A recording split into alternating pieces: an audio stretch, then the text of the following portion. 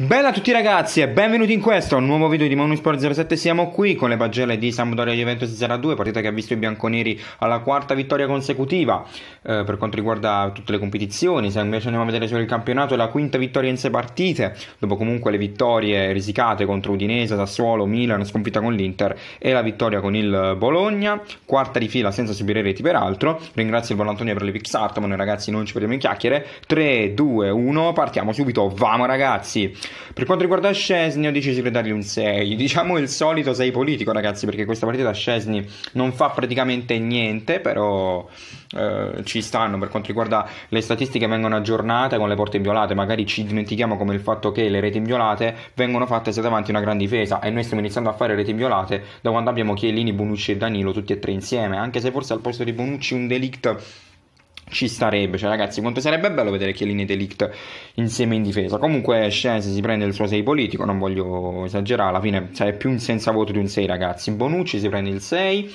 imposta, difende. Ieri l'unica cosa che doveva fare è impostare perché di difendere eh, Chiellini e Danilo bastavano e avanzavano. Comunque al fianco di Chiellini è un altro giocatore si è un po' ritrovato. In questo 2021 ha preso se non erro solamente un'insufficienza nelle mie pagelle perché se andiamo a vedere solo la prima parte di stagione avrà preso 4-5 insufficienze per quanto riguarda invece il mese di gennaio sta andando veramente bene, quindi bravo il vice capitano Bonucci.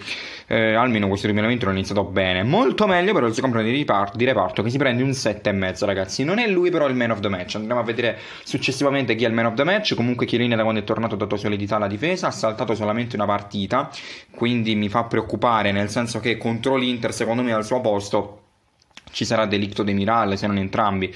Quindi ragazzi, alla fine Chiellini non può fare troppe partite di fila, è meglio tenerlo in rosa perché abbiamo visto da quando c'è Chiellini in rosa abbiamo iniziato a fare reti inviolate su reti inviolate, quindi ragazzi, sempre meglio tenerci Chiellini al nostro fianco. 7,5 per quanto riguarda la partita di ieri, eh, perfetto, sia in fase di impostazione che in fase difensiva. Strano vedere Chiellini bene in fase di impostazione. A Danilo da un 6,5, anche lui un 6,5 politico perché da difendere ieri c'era ben poco, visto la pericolosità degli avversari e visto anche le condizioni climatiche che non favorevano magari eventuali contropiedi di Keita, che era il loro, il loro uomo più pericoloso ma soprattutto comunque la nostra solidità difensiva non ha fatto fare azione agli avversari. Questo è anche merito di Danilo che il suo 6,5 se lo porta a casa, usa tanto in fase di impostazione, ma ieri ci stava in quanto da difendere, ripeto l'ennesima volta, c'era comunque poco. Quadrado, anche lui, partite dove si, si difende poco, Quadrado non le stecca mai, per il semplice motivo che io dico sempre ragazzi, Quadrado se deve giocare esterno destro non può fare anche il terzino destro in questo modulo. Eh, in un, in un, ipotetico 4-4-2 di Pirlo in fase di difesa. Questo perché ragazzi? Perché Quadrato senza Danilo dietro, senza qualcuno che lo copre perché lui si fa spesso saltare, non è, non è un grandissimo terzino per quanto riguarda la fase difensiva parlo. Però comunque queste partite non le stecca mai Quadrato. Ieri si porta un set a casa, fa il suo ennesimo assist, da quando è tornato ha fatto 3 assist in 4 partite, non ha fatto assist solamente in Coppa Italia ma solo perché non ha giocato. Benissimo Bentancur per l'ennesima volta dico che mi ricredo almeno per questa stagione su questo giocatore per lui un 6,5 ragazzi. Al fianco di Arthur e McKenny un altro giocatore. È chiaro che se lo mettevi al fianco di Rabio e Ramsey non è che ti rendeva tanto però al fianco di Arthur e McKenny è sicuramente un altro giocatore Rodrigo Bentancur. Ora giocherà anche con l'Inter per poi saltare la Roma. Il giallo secondo me non ci stava però accettiamo la decisione dell'arbitro era un giallo che si poteva dare come non si poteva dare. E va bene ogni tanto il giallo lo deve prendere Bentancur lo sappiamo. Partita ieri comunque veramente mostruosa dell'uruguaiano.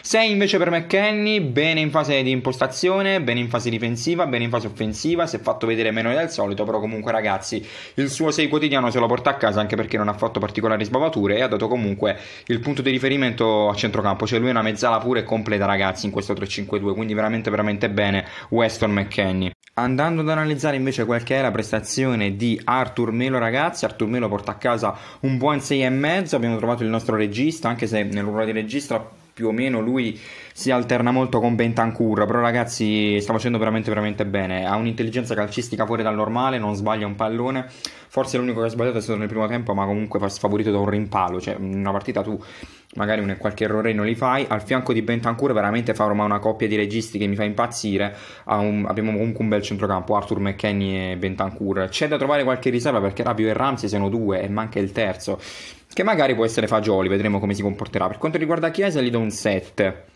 È vero che ha fatto il gol che comunque alla fine ha deciso la partita, ma è anche vero che ragazzi si è un po' perso in qualche altra azione fatta. Anche perché il gol, sì, lui si è fatto trovare pronto, quello è, perché magari qualcuno dice, eh, ma l'ha fatto a porta vuota. Eh, ragazzi, Morata non è che ha messo in mezzo alla cieca, alla fine Morata ha trovato Chiesa, quindi insomma, diciamo così, proprio alla cieca no, però calcisticamente chi ha fatto calcio capisce cosa voglio dire con un passaggio alla cieca di Morata.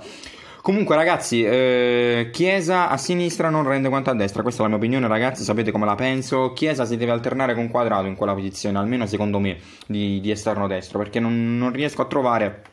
Un, un, altro sistema per farli giocare. Poi, poi, non lo so, perché poi se togli. Se Chiesa lo metti a destra, poi non sai dove mettere McKenny. Magari McKenny a sinistra ti rende di meno. Sinceramente, non lo so, ragazzi. Eh, sta di fatto che Chiesa a sinistra per me non rende come a destra, come esterno sinistro, ragazzi. Anche perché poi Ronaldo si sposta al centro e Morata come alla destra. Se invece metti Chiesa a destra, Morata fa l'attaccante e Ronaldo alla sinistra. Stessa cosa se c'è Di Bala. Quindi magari il discorso viene un po' mm, esaltato di meno, quindi non lo so, magari con Dybala può essere un'altra cosa. Questa è la mia opinione, ragazzi. Quindi Chiesa a sinistra fa bene, ieri ha fatto pure il gol, però secondo me a destra è la sua posizione naturale. Comunque per quanto riguarda la partita di ieri si porta a casa un 7. Non ho tanto da dire, anche se viene un po' scosso cioè scosso, voglio dire, demotivato magari dalla presenza anche su quella fascia anche di un certo Cristiano Ronaldo, o non si vedeva Ronaldo nell'azione o non si vedeva Chiesa, ragazzi, ma comunque un 7, ripeto, se lo porta a casa tranquillamente. Per quanto riguarda invece i due attaccanti, ragazzi, ho deciso di dare un 6,5 a Morata. Non fa granché ieri, però comunque eh, viene preso in considerazione il fatto, cioè il fatto, l'assist a Chiesa, comunque un bell'assist, l'ennesimo assist stagionale, praticamente si avvicina a quadrato perché in totale gli assist di Morata in stagione sono 8, 11 invece quelli di quadrato, quindi veramente veramente bene Morata che si è che si è riambientato benissimo, 13 gol e 8 assist per lui finora, ieri comunque bella partita da un punto di riferimento in attacco, anche se le maggiori occasioni l'ha avuto il suo collega di riparto Cristiano Ronaldo, per lui 5.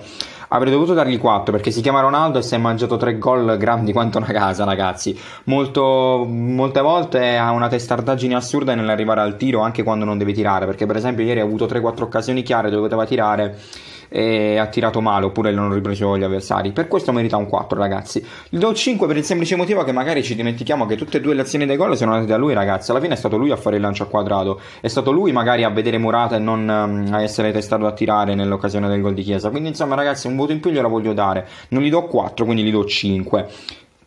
7 invece è un subentrato Ramsey, si fa vedere bene. Diciamo, diciamo che Ramsey e Rabiot possono essere solamente buone riserve attualmente in questa Juventus, ragazzi. Inutile dire vendiamoli, vendiamoli a gennaio non li vendi, se mai li vendi a giugno. Però per il momento Rabiot e Ramsey sono comunque due buone riserve. Ramsey comunque la mezzala la fa bene, soprattutto se è entrato a partite in corso possiamo vedere come dal gol di ieri se possa essere un'arma letale magari per chiudere le partite. Quindi bene Ramsey che comunque un 7, almeno per la partita di ieri da subentrato, se lo porta a casa. Non era difficile il gol da fare, ma l'importante come nel gol di Chiesa era farsi trovare lì. Man of the match invece è Andrea Pirlo, ragazzi. Andrea Pirlo che comunque ottiene la quarta vittoria di fila, ha trovato il suo centrocampo, ha trovato la sua difesa, ha trovato comunque una squadra che, che risponde magari a, sul campo. Ora ci sono 5 partite difficilissime da affrontare, ovvero Inter, Roma, Inter il ritorno in Coppa Italia, Napoli e Porto. Ora vedremo Andrea Pirlo cosa estrarrà fuori dal cilindro. Almeno 3 su 5 le voglio vincere, ragazzi, senza magari uscire da nessuna competizione. Quindi vedremo, con l'augurio che gli altri due ovviamente siano pareggi e non sconfitte, attenzione. Detto questo ragazzi, il video termina qui, spero che il video vi sia piaciuto, se ti è piaciuto ti invito a lasciare mi piace, caso contrario un dislike, commenta se siete d'accordo o disaccordo con me, se non l'hai ancora fatto iscriviti al canale, da Monsport07 è tutto e noi ci vediamo in un prossimo video, bella ragazzi!